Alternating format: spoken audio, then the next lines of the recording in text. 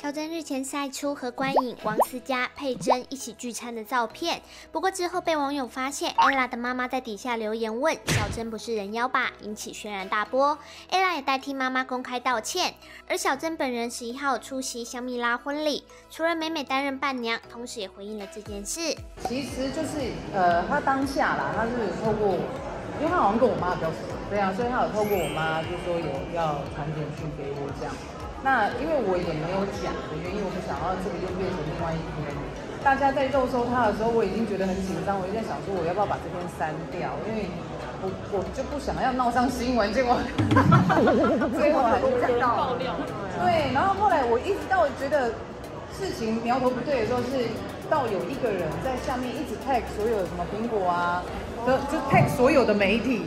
然后我想说完蛋完蛋完蛋，就果然就就打来问啊。然后但其实 ella 其实早就已经有传了一封简讯给我这样。那我说根本没什么，我也没那么在意这件事情。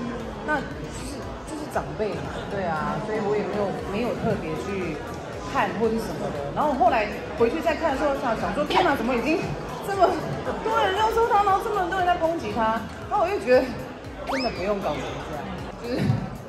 因为其实蛮多人就是讲那一张，好像跟你就是也不止有他一个人讲像，但是就想说怎么他被肉搜也太衰了。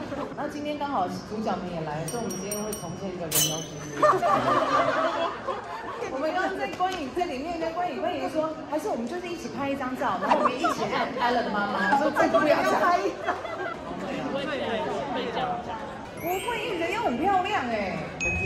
拍一张。我们今天一定要交给网友评断，一定要选出一位最像。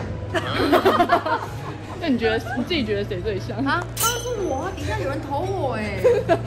我们等一下会经典 pose 呈现，麻烦你们帮我把那一张好好的拍一下。好，但是小珍是一个非常善良的人，对，因为我们当然有关心他啦，他就是叫我们不要再问。无伤大雅，他完全没有放在心。